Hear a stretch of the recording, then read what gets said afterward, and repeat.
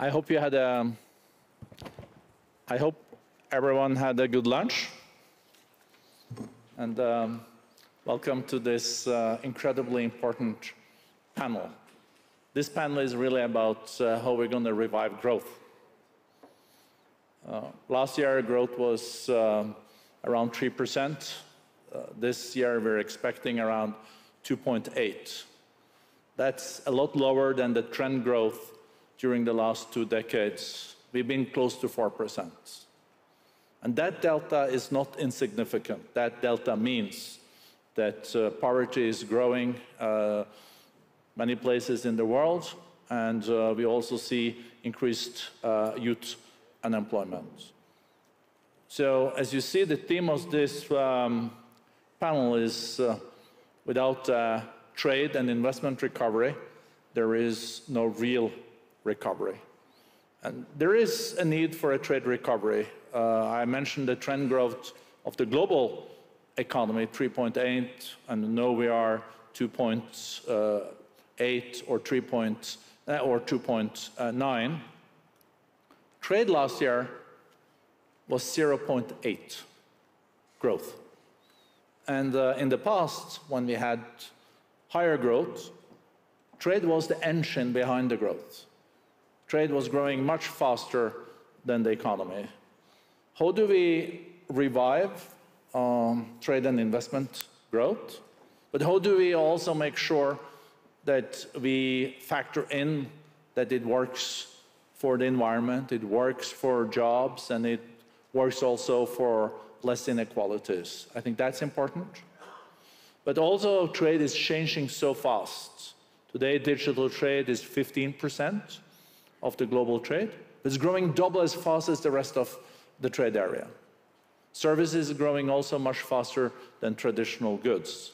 But then we have industry policies suddenly injected into that. And uh, as Dr. Ngozi and I discussed at uh, the luncheon when we went to grad school in economics, we learned that uh, industry policy was not a good idea. That has uh, changed uh, a bit, so we are pragmatic, but uh, how pragmatic should we be about that? Then we have level playing fields. We have it now with the electrical vehicles, the EVs, we have it in many areas. So geopolitics is worse than last year. The economy is maybe a little bit better than we expected. Soft landing in the US, maybe, hopefully, uh, inshallah. Uh, but that also means that um, we are very concerned about the geopolitical aspect of this. And we're already seeing it on the supply chains. What is happening now in the Red Sea, for example. And if you want to move in a situation where inflation goes down, I think we also have to factor in the need for competition and comparative advantages. Hopefully, we have not forgotten all about that. And then we have the MC13. What does that mean? We have important trade minister meeting in February under the auspices of the WTO. And uh, Dr. Uh, Ngozi, um, I think your trade growth numbers for this year, fortunately, are better than last year, a lot better. But I know you have some concerns. And also thank you for being the guardian of the trade rules we have today because we are not in a trade recession. Trade is still growing. Sometimes you get a different feeling when you read the newspapers, but it's growing, but it's not growing as fast as we want. So, how can we secure what we have? How can we develop it also into the new areas that are growing? And how can we secure that trade again becomes an engine for growth? Easy questions. Very easy. in three minutes. Well, thank you, Børge. Um, you're right. Last year, uh, we saw weak growth in trade. We predicted, uh, projected 0.8%, and uh, we had a slight rebound in the last quarter of last year on, in automobiles and parts and components. But I don't think it's enough to really make us change our numbers very much. But going into this year, we were more optimistic, and we projected 3.3%. But the concerns about what is happening uh, in the Red Sea uh, and, and the Suez Canal uh, and elsewhere in the world. People also forget that climate change concerns, drought in the Panama Canal, are also uh, an issue. And uh, so this uncertainty uh, that we have and the downgrade of global growth. So also has an impact on trade. So trade, it's like a circular thing, impacts global growth and, and back. Makes us less, slightly less optimistic about the 3.3%. I think we'll come in uh, below that. We're revising our forecast, so I don't have the new numbers. Nevertheless, it's still better than last year. And you talked about how do we uh, make trade contribute more. We, we are quite uh, optimistic on that contribution because there are some bright spots in trade. We've got digital, we've got services growing. Actually, services grew for the first nine months of last year at an annualized rate of about 9%. And within that, digitally delivered services growing very, very fast. We're also bullish about green trade. Uh, over the past two decades, green trade has tripled to about 1.9 trillion. So I think services, digital trade, green trade, these are some of the areas uh, that we need to look at. So what should we do? On the investment side, we're negotiating an investment facilitation agreement at the WTO with 110 countries. The idea is to help developing countries as much as possible sweep away those barriers so the investment can come in and it can help revitalize uh, um, uh, growth and, and trade. Um, we're also looking at rules to underpin digital trade, um, and uh, we hope that at our 13th ministerial, we'll be able to advance on these fronts. So, yes, we are worried, but remember, trade is very resilient, and we are optimistic we can pick up on some bright spots. Let me leave it there. Thank you. And uh, the um, trade wars and uh, protectionism and new tariffs and all that, has that calmed down a bit, or, or is it really a big threat still? Well, we're, we're worried about protectionism, of course, and unilateral actions. As you know, the WTO has the rules that underpins the world trading system, and 75% of world trade happens on WTO terms. That is significant. So we certainly want to keep away from any measures that are unilateral or peer protectionist. We are seeing an increase in export restrictions and prohibitions, import restrictions are climbing, but we are also, um, you know, by making this transparent, our members are also seeing that we need to pull back on this, uh, and, and so that we can have a, free, a free, without a free flow of trade, I don't think we can recover. So we are concerned, uh, but we are working on it. Does industry policies keep you up at night? it does. Look, on a pragmatic level, we have to accept that due to the vulnerability of supply chains that we saw, there will be some amount of reshoring for certain supply chains that have been over-concentrated and where we're over-dependent on certain geographies. But what we have to say is this is a slippery slope. So let's be careful, because once we start working on that, then having been a cabinet member for a long time, you know, I can come up, I can tell you how education is important to national security, health certainly is important, uh, other areas. So we need to be careful, where does this stop? Uh, so pragmatism married with a keen eye to not undermine the, the, the uh, open trading system and competition, I think that's what we're looking for.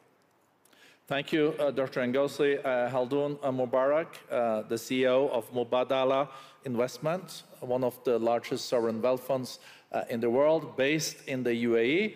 UAE uh, is really a major trading nexus, and you rely on a lot of trade and open economies, and you also invest your taxpayers' money for the future, and you follow the geopolitics and also the geoeconomics very closely. And uh, how important is trade and uh, openness, uh, investments for you in your calculations, and how, how is your outlook uh, for trade moving forward? And the UAE is even uh, hosting the next uh, trade minister meeting in February, so congratulations on that. So we hope that is as successful as COP28. More. More. well, we're gonna we're gonna work on it. Um, so I think maybe I'll start with WEF. I was here. I mean, I've been here coming for many many years, and I will go back to 2019 or 2020, because I think that was an interesting inflection point. When we were talking about um, globalization, trade, the world was going in a trajectory of globalization and trade until 2020. And then I think a lot of things happened over the last four years that have moved us globally away from that trajectory. COVID, obviously, and the pandemic uh, moved towards protectionism on supply chains, changed the thinking of how the world thinks and how countries think about supply chains and about protecting, uh, obviously, their industries. Then you had, uh, obviously, war in Europe, uh, Russia, Ukraine, and, and what that ended up spinning over in terms of commodities, uh, uh, the challenge of, of, of energy uh, in Europe and commodities all around the world. And of course, that created another security slash supply chain slash commodity um, reality that, again, was fighting trade and fighting globalization. You have the two largest economies in the world uh, going through uh, over the last, again, particularly over the last three years, three, four years, uh, again, a very challenging relationship. Uh, and then now you have the war in the Middle East. So you have all of these events happening, leading to a push uh, away from globalization and away from trade, which I think, as a capitalist, as a, as a chief executive of, a, of an investment sovereign fund, uh, a fund coming from the UAE, that is, you know, basically uh, at the heart of trade and globalization. Our ethos, our DNA in the UAE is about trade and it's about globalization. As an investor that invests east, west, north, south, we have been operating in that domain. I have to draw an analogy at this point back to the UAE. What did the UAE do in that same four-year period? On trade, I think the UAE did more trade agreements in that four-year period than any other country in the world. Uh, from trade agreements with big economies like uh, India, Turkey, Indonesia, massive trade deals, uh, bilateral trade deals, which again, uh, I think helped the UAE uh, in that shift uh, that's happening globally, positioned the UAE, I think, very, very well. And at the same time, I think we maintain, I think, a globalization push by keeping the UAE as a hub for trade and business, uh, by maintaining connectivity, investing in these large economies. And then I think as an investor, and I come back to my point, and I'm looking at the watch because I want to stick to your rules of three minutes. We as an investor, looking at how we can invest in that supply chain across the board, be it in energy transition, be it in technology, uh, in data centers, digital technology, digital infrastructure, and how we can help unlock this, uh, this challenge uh, which is a challenge from one perspective, but from our perspective as investors, a huge opportunity, which, by the way, matches very well because you are, we are doing our part in helping unlock challenges that help growth, build up demand, and ultimately, just to conclude, I think my firm or our firm belief in the UAE and my firm view also with that is with economic development comes prosperity. With prosperity comes stability. With stability, ultimately, you have peace. Three minutes. Thank you uh, very much. I think you deserve an applause for that one. Oh, I get an applause. Uh, you mentioned uh, bilateral trade agreements, and uh, we've seen a lot more of that uh, in the last years, and also mega regional trade agreements. Do you think that that, of course, it can end like in a spaghetti bowl, so it can be very complex. But at the same time, it can also inspire these nations to then uh, form coalitions that later can be formalized under the WTO. Listen, I think the way I will address this is I think there needs a mindset, there's a, there's a mindset shift that needs to happen. Because I've seen over these last couple of years, the politics has changed globally. And I think there needs to somehow a shift back uh, in the mindset where uh, trade and global, globalization is embraced and embraced politically, uh, where trade and globalization is supported. Uh, now, obviously, that, that means you need a bit more stability in the world. Uh, but, you know, it's a chicken and egg. There's that catch-22, what comes first? Um, can, we can debate what comes first, but at the end of the day, it needs to happen.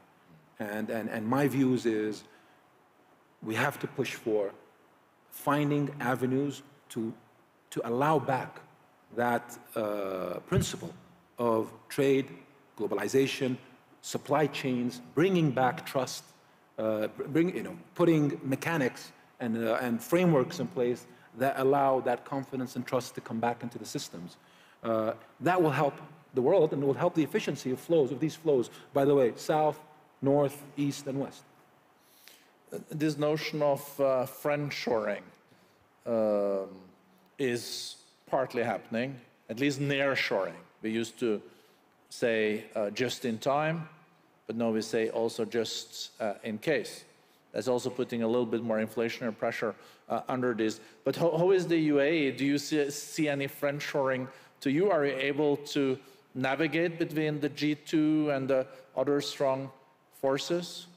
Yes, I mean, listen, the UAE has to play a part. We're, we're uh, obviously, the, the world is, is, very big, and, and we are, we're a country that, that has to also, uh, within the, cons the, constraints of our size and our, uh, and our, our geography and our, uh, uh, and our region. But I think we're trying hard to, to, to do our best in that space. Uh, I think one of the areas, there's two areas we're, spending a lot of time on. obviously, energy transition, and that's a space which I think there's tremendous benefits for the whole world. We're investing a lot of capital in, in, in, in the generational side of energy transition, but also on the supply chain aspect of it. The other, which is I think going to be very exciting going forward, and it's been the theme of, uh, of WEF this year, is, is, AI.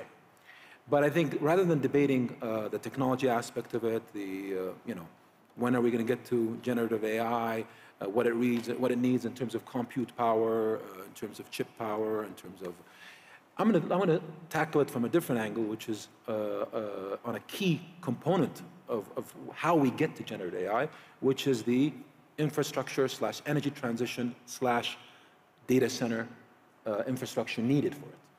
The data center side, and I'm just going to spend a minute on this. Today, you have the global capacity, global capacity uh, of data centers built in the uh, today is about between 55 to 60 gigawatts globally. That's it. We are in 2024. That is what you have globally. Just the space alone is going to require, over the next 10 years, for, for, for this infrastructure, no less than, depending on what assumptions you're going to take, 200 to 400 gigawatts. That's the range. Obviously, it's a wide range, but it's a huge range. In the bottom end of that range, 200 gigawatts, just imagine the level of investment required uh, in terms of data centers globally. And what that needs in terms of energy. And by the way, that energy, energy it's needed in, in the form of clean energy. So that's going to have to come basically from nuclear, solar, wind, geothermal. So there is an unbelievable uh, demand story that's going to be built up over the next uh, years, but not 30, 40 years. We're talking in the next two, three, four, five, 10 years. And, and I think that's a very important opportunity, which, if we grasp, will help everything we talked about, globalization, because it will only work effectively in a globalization uh, perspective with countries working together, corporations and investment institutions like, like ourselves working together and being efficient. Thank you, Khaldoon. Uh, let me then go to Chrystia Freeland, Deputy Prime Minister of Canada, Finance Minister, but before that, Foreign Minister, and then we were trade ministers together. And, um, you know, once a trade minister, I think you still keep uh, on your hard disk uh, some uh, of uh, the very detailed uh, negotiations. It's a very meticulous industry, to put it that way. Listening to Dr. Ngozi and also to Khaldoon now and the bigger picture, I, Canada is an open economy. It's a G7 economy. Um, looking at trade and investments and, and revival of growth there, how important do you think it is? What are the measures we can take globally to do better?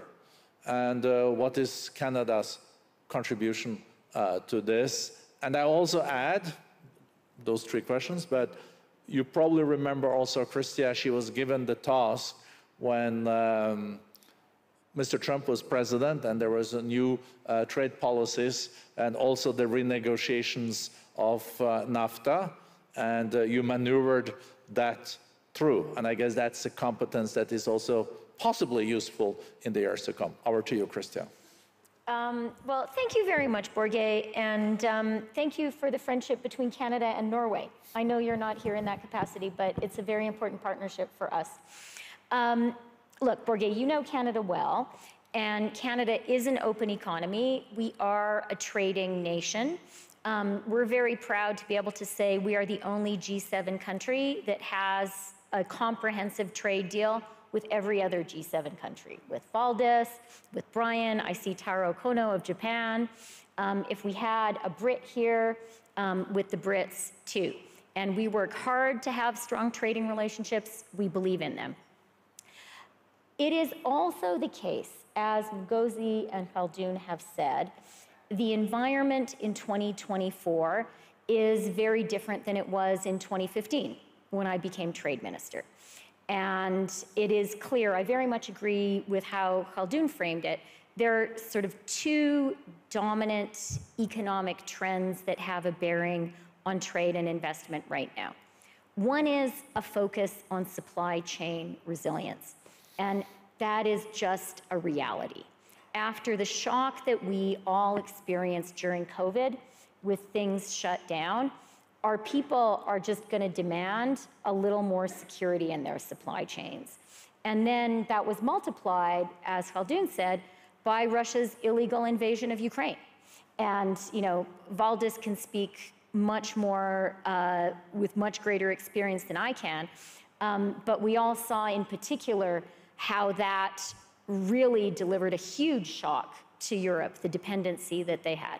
So supply chain resilience, it's a reality and we're all thinking about it in how we build our own trade relationships and also how we as Canada make a pitch to foreign investors.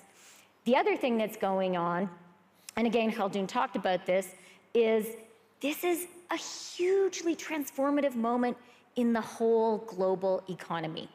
Uh, I think that right now we're living through a moment which is comparable only to the Industrial Revolution itself in terms of the energy transition and the way we need to retool all of our manufacturing. That is huge. Canada's strategy, Børge, is to say, look at these two trends and let's see how we can use them to play to Canada's strengths. And our view is there's a lot that Canada can offer to the world in this moment. You know, we have the critical minerals and metals that you need to build a green economy. We have a lot of clean energy. 85% of our grid is already clean, and we are investing heavily in building more clean energy. We are a country that believes in manufacturing, has manufacturing know how and capacity. And then you guys spoke about industrial policy. You know, the thing that is new about industrial policy is we are developing our economies, growing our economies at a time when we also need to accomplish the green transition. And I spoke yesterday to a very significant international business leader who is also a big investor in Canada. And he said to me, all the countries in the world need to be very careful that decarbonization does not mean deindustrialization. I thought that was an extremely smart comment, and Canada is absolutely determined that decarbonization for us will mean more jobs, more growth, more manufacturing, and we recognize government needs to play a role to make that happen. So we've set up a $15 billion government fund run by professional investors from a Canadian pension fund. And I hope you know Canadian pension funds, they're geniuses, the best in the world. So we don't have my department manage the money. Sorry, you guys are very good too. And, then, and the Norwegians are involved. Norwegians also is good. bad We're either, huh? No, but like, come on, the Canadian pension funds, they're great. Um, my point is, we're, we don't have government bureaucrats invest these $15 billion. We have professional investors do it. But their job is to fill that gap between what, to, to really to de-risk for private capital. And that 15 billion is being invested alongside private capital to make projects work.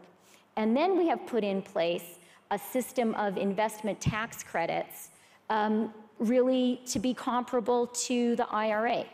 And we now have a suite of policies for the industrial transformation worth about $120 billion. So come invest in Canada. We believe that we have to hustle. Um, we think this is a moment that, you know, the cement is being poured for the new economy. And we really believe in being out there, talking to investors in the world and saying there's a lot of natural advantages Canada has, and we're going to help those advantages along with government policy. And then just to conclude, Børge, what I'll say, I liked your introduction. I liked the way you said it's really important that trade policies work for people. And that would be sort of my final comment, speaking for Canada. Um, but really, I think this applies to the whole world. Um, as we build our economic policies, whether they are trade policies or investment attraction policies or industrial policies, at the end of the day, the question we have to ask ourselves is Will this make the life of the people I represent better? Will it create great jobs that people can build a life on and have hope and optimism for the future with? Thank you so much, uh, Chrystia. Uh, moving over to Valdis uh, Dombrovskis, um, Vice President of the EU Commission, uh, responsible for trade and uh, investments. Uh, EU is a superpower when it comes to, to trade. I think the single market is still the largest market in uh, the world. Some used to say it's a superpower without superpowers, but I think you're shown some more superpowers lately. You've become a little bit more assertive, uh, also on level playing fields, and uh, there is like a hobby for some people to write off the EU like 2012, it was like the currency was written off, it's still the second most important currency in the world. Um, it's also Greece was going to go bust. Now it is uh, the fastest growing economy uh, in, uh, in Europe. So you have also good results to show. But what is the role of the EU in securing and shaping a trade system and trade that will contribute to recovering global growth? Uh, well, uh, uh, um, thank you, Børge. good afternoon, everyone. indeed, EU is a, a world trading superpower. We are the largest trading bloc in the world, also having one of the most comprehensive network of uh, free trade agreements in the world. So for the EU, uh, clearly there is a lot of stake when we discuss uh, global trading system. So from EU side, we are obviously uh, committed and working to preserve a rules-based multilateral trading uh, system. Uh, clearly, uh, geopolitical uh, context is uh, changing. It's becoming much more conflictual, and also the risk of economic fragmentation is there. but clearly, that would come at substantial economic cost. There uh, estimates of the uh, International Monetary Fund is that if this economic fragmentation would take place uh, globally, so trade focusing within uh, geopolitical uh, blocks, that would have an effect on the world economy, which would be equivalent of taking uh, Germany's and France's combined GDP out of the world economy and effect unevenly distributed with uh, developing countries most negatively uh, affected. So also from that point of view, uh, clearly uh, it's uh, important to uh, preserve this multi multilateral system. at the same time, it's also visible that there is a paradigm shift from efficiency to resilience. So there's much more, more talk about economic security, economic resilience, and so on and so forth. So and there the question will be to find the right balance that all this talk of economic security and resilience does not become just a pretext for uh, protectionism, that indeed uh, the risks uh, which we are facing are addressed in a targeted and proportionate way. Uh, also, when we discuss uh, resilience, uh, uh, this example was mentioned already of the EU's uh, dependence on uh, Russian fossil fuel supplies, notably natural gas supplies, and which Russia tried to use after its invasion in Ukraine. So it tried to use uh, their uh, fossil fuel supplies as a, a tool of weapon, uh, kind, kind, of, of manipulation and blackmail. So we had to unwind this dependency, which we did, but Obviously, it also had a substantial economic uh, cost.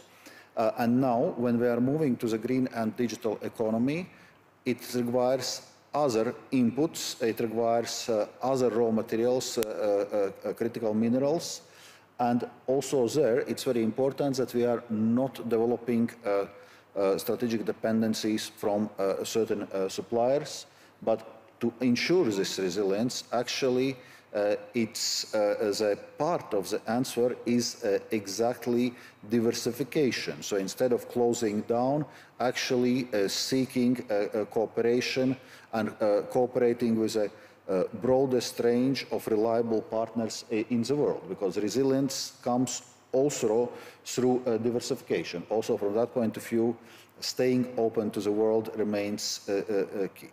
Uh, at the same time, uh, it's clear that we also cannot have this openness uh, for granted. We need to be able to defend our uh, uh, uh, interests, our companies, when others are not playing by the rules, distorting the level playing field. And that's what uh, Børge already refer referred to, that indeed EU's trade policy is also becoming more assertive. So we need to be able to defend ourselves, and we have developed also our own toolbox to do so, uh, should uh, uh, others not play by the rules. But to summarize, from the EU side, we will act multilaterally as much as we can, but we would stand ready to act unilaterally if we must. Thank you uh, very much, uh. If you look at um, the framework we have today, the multilateral framework, and we're Dr. Ngozi is the custodian of that, uh, together with her colleagues at the WTO. Has it been more robust than you thought, or has it not been? Uh, well, uh, first of all, uh, uh, multilateral trading uh, framework matters a great deal economically. Dr. Ngozi already mentioned the figures that 75% uh, of the world trade is taking place under WTO rule. Uh, EU, as I said, has one of the most comprehensive networks of free trade agreements. Still, most of our trade is done under WTO rules. So therefore, uh, it's uh, clear that we need to invest and engage in preserving and strengthening this multilateral system, and that's uh, uh, uh, something from the EU side we are very committed to do. We have been working uh, very intensively towards uh, successful outcomes at the 12th WTO Ministerial uh, Conference and preserving this multilateral system, and we managed to do so together with all our partners and under leadership of Dr. Ngozi. And now uh, we must do the same. Uh, we must engage very seriously towards successful outcomes of uh, 13th Ministerial Conference next month in uh, Abu Dhabi to preserve this uh, multilateral trading system. Thank you, Brian Moynihan, the chair and CEO of Bank of America, one of the largest financial institutions in the world. And I guess also for Bank of America, trade, and uh, growth is incredibly important. Uh, at the same time, we are also in a situation where we haven't seen so much global debt since the Napoleonic Wars. The global debt is now 300% of the global GDP. So uh, there's also challenges. And I think the only way to get out of that trap is also to revive growth. And that is best done uh, with uh, trade and investments. Uh, what's your take on that? Do you agree? I think clearly, if you grow the pie, the mass, and you manage the budgets a little more in line, and you don't have the shocks of COVID that cause the spending, you get them back in the places they should be, and that's what we have to achieve. And because that amount of fiscal spending, which was necessary, and you could debate how much more was necessary, but a, a major part of it has caused inflationary factors around the world that are, we're still adjusting out of the system. And it's caused debt levels to get to places where they're squeezing out private activity. And as rates rise, that even becomes more problematic. So if you think about uh, when I listen to all my colleagues talking, just to hit some of the points, let's think about from people and let's think about it from companies, right? Because that's what we intermediate in the end of the day. And so if you think about it from consumers, the good news for 24 is the consumers in the US are in pretty good shape, the consumers in the EU are in pretty good shape, and you put those two economies together, you got 45% of the world's GDP. And by the way, the Gulf countries are in pretty good shape and the oil prices have stayed solid. So you can start adding chunks. That means you're going to have a reasonably good year. The people are employed and they're spending money, and the growth slowed down, but it's slowed down more consistent with a low inflation economy. So now I'm a company. I've got to supply into that.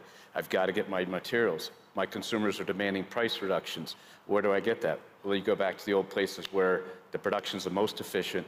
What we traded for decades was efficiency in dollar, you know, dollar spent, euro spent, or whatever, to get the goods in, and the consumers benefited by that, and they're just as demanding. I want that bike back to the old price. I don't want the inflated price. I want that car, whatever. So I think that powerful consumer is going to assert itself. So when businesses go to fill it, they either just take a margin hit or they've got to drive pricing through the system, which means they go to efficiency. The mistake in all that is we can't forget the lessons of the pandemic, which is to trade for 10% price with no resiliency in supply chain had a bunch of companies saying, I can't get it. Not that I can't get it at a price, I just literally can't get it. And they've learned from that and they've changed. And that what they've done is this is risk management. You call it resiliency, you call it different words, but it's about risk management. Even as a lender to a company, you are very deep into where's your supply chain coming from and how resilient it is. Somewhere in March, once we figured out that COVID was transmitted by, by breathing and we needed masks, it was like a spy novel to get the mask out of China. We had to get 10 million masks out so we could open our branches. So, because we used 2 million a week, we had 400,000 total in the company. So, and there were nowhere. And so the idea is something that's commodity, this isn't something really sophisticated. A surgical mask became impossible to get, and you were paying multiple dollars per unit.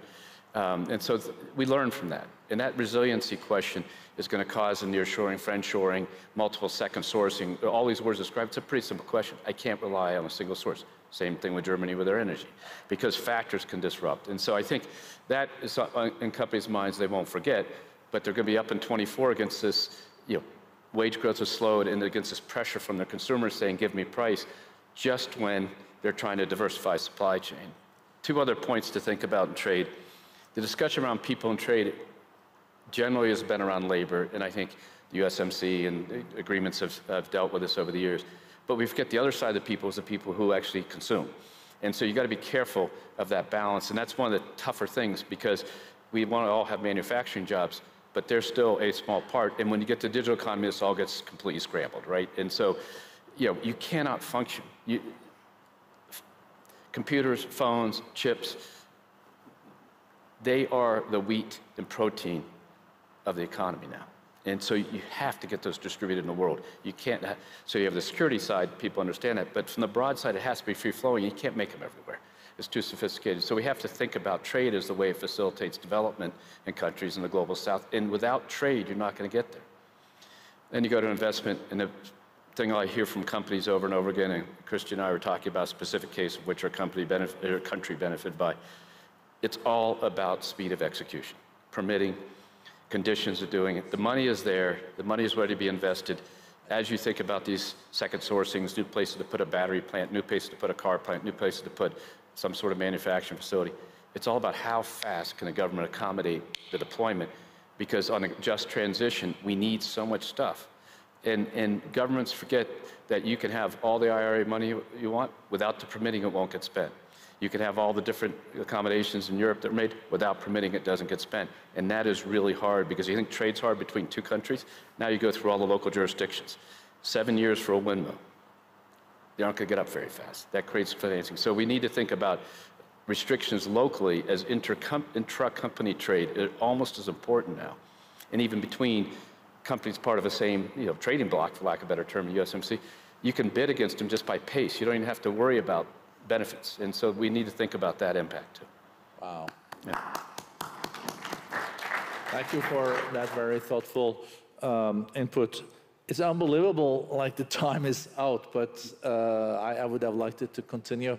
Uh, but I, I, would like then to come back to you uh, at the end, uh, Dr. Ngozi. It seems like we're moving into a little bit higher inflationary territory because we will not go back to the system where we only looked at uh, the um, uh, competitive advantages and we bought it wherever it was cheapest.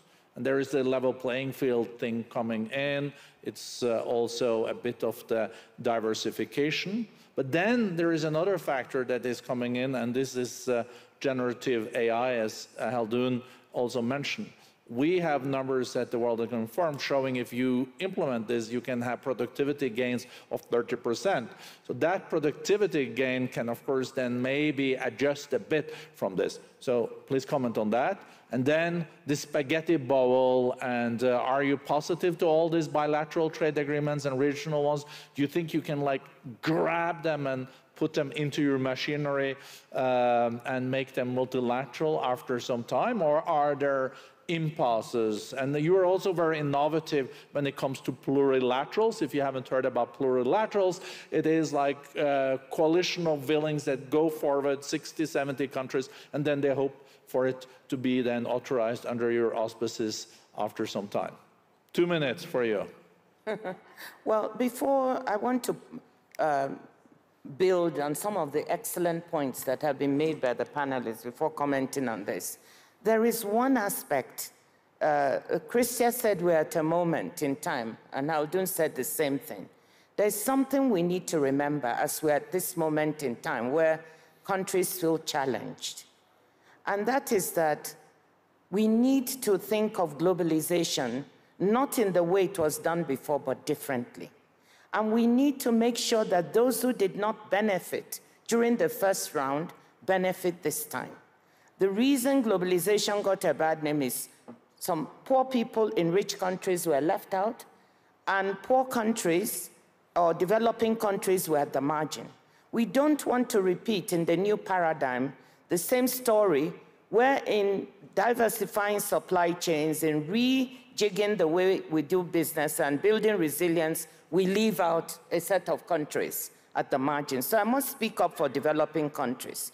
We, we have to we, fortunately, we have a paradigm at the WTO that will help us do this. We believe very strongly that we can both diversify supply chains and build resilience. And Valdis said it very well. And I'm, I'm, you know, I want to pick up on some of that. We can diversify our supply chains, deconcentrate those sectors and geographies that are uh, causing a problem by diversifying them also to developing countries, other parts of the world that have the right business environment. And we're calling this reglobalization.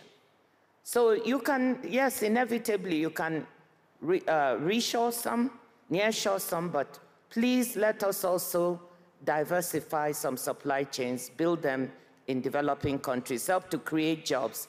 They don't have the fiscal space to be able to subsidize and have a very robust industrial policy.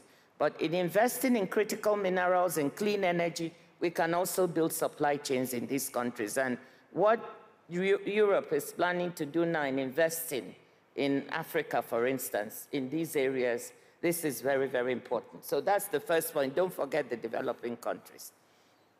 So that being said, um, I think that um, trade uh, is going to be instrumental, no matter what do, we do, as you said, uh, um, uh, Børge, in, in the rebound. And in doing it, the generative AI, you said I should comment on it. I think this is a very important tool that can reduce the cost of trade, make supply chains more efficient uh, to manage, um, and, and, and increase productivity. So we see it in a positive way, uh, as a positive force that can help us uh, in, in trade and in managing supply chains better.